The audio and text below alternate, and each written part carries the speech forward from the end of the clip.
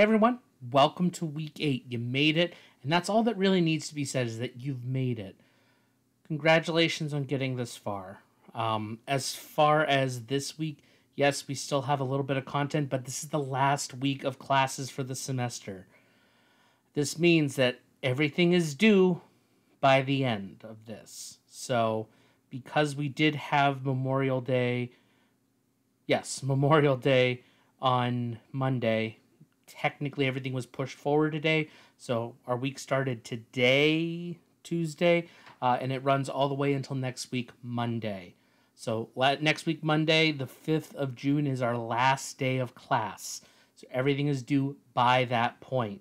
That means your final exam, that means your projects, that means anything that's missing and outstanding needs to be turned in by that point.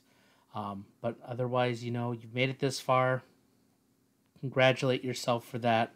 As far as grades are concerned, um, I'm slowly catching up on anything I missed last week. Last week was a weird week, but uh, I'm getting those all together. So, yeah, I hope you're doing well, and I look forward to. Well, I don't look forward to, but I look forward to the graduation this week uh, for our first graduating class, and for all of you, I look forward to attending your graduation from us. So I guess that's the happy side of all that. Um, but yeah, be happy and confident in knowing that you made it. That that's it.